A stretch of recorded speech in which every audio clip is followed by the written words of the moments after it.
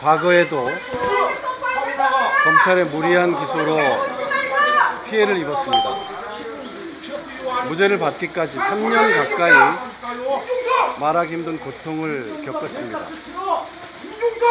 검찰이 하는 업무는 그 특성상 한 사람의 인생 전부와 그 가족의 삶을 뿌리째 뒤 흔드는 일입니다. 그렇기 때문에 검찰은 그 어떤 기관보다 더 신중하고 절제력 있게 남용함이 없이 그 권한을 행사해야 합니다. 이번처럼 하고 싶은 만큼 전방위로 압수수색을 해대고 부르고 싶은 만큼 몇 명이든 불러들여서 사건을 구성하고 법조문 구석구석 들이대면 예, 몇 명이든 누구든 기소할 수 있겠지요. 하지만 그건 아니지 않습니까?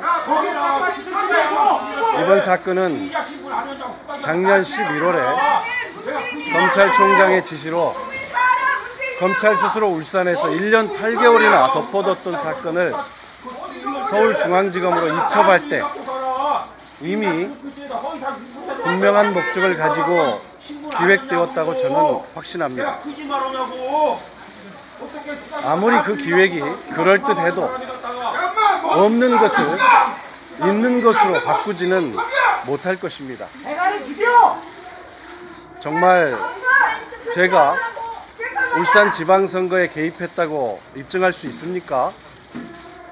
못하면 입증 못하면 그땐 누군가는 반성도 하고 사과도 하고 그리고 또 책임도 지는 것입니까? 저는 우리 검찰이 좀 더 반듯하고 단정했으면 좋겠습니다.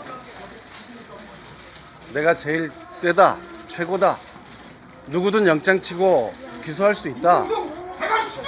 제발 그러지들 마시고 오늘날 왜 손에서 물 빠져 나가듯이 검찰에 대한 국민의 신뢰가 사라지고 있는지 아프게 돌아보았으면 합니다. 모든 권력기관은 오직 국민을 위해서만 필요한 것입니다. 국민의 신뢰를 잃으면 모든 것을 잃는 것입니다. 어, 언론인 여러분께 양해를 좀 구하고자 합니다. 어, 구체적인 질문은 제가 조사 후에 나오는 길에 어, 필요하면 답변 드리도록 하겠습니다. 양해를 부탁드립니다.